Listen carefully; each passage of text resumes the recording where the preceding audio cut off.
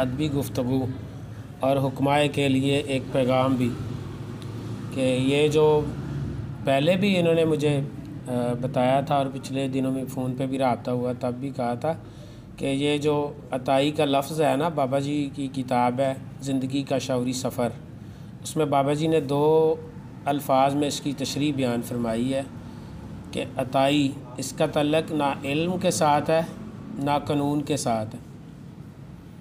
ये वो लोग हैं, जिनके पास ना इल्म है और ना कोई कानून है। ये अताई जो हैं, जिन लोगों को ये लोग हमारे लिए लफ्ज़ इस्तेमाल करते हैं, हम इस ज़िमरे में आते ही नहीं। ये वो लोग हैं, अतायत बेसिकली डॉक्टर ही पैदा कर रहे हैं, जो एम बी बी एस के पास डॉक्टर ज़रात काम करते हैं, जो डिस्पेंसर है कंपाउंडर हैं।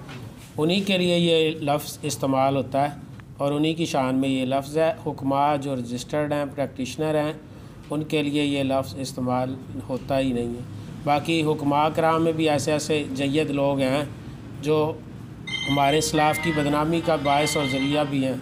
हम उनसे भी मादरत खाएँ और आपसे भी ये इस्तदा है कि हमें इस फ़न को और इस इल्म को सही अल्फाज में समझ कर उस पर अमल पैरा होकर इलाज मालजा की तरफ़ इन लोगों की तरफ़ रगबत से इज्तनाब बरतना चाहिए।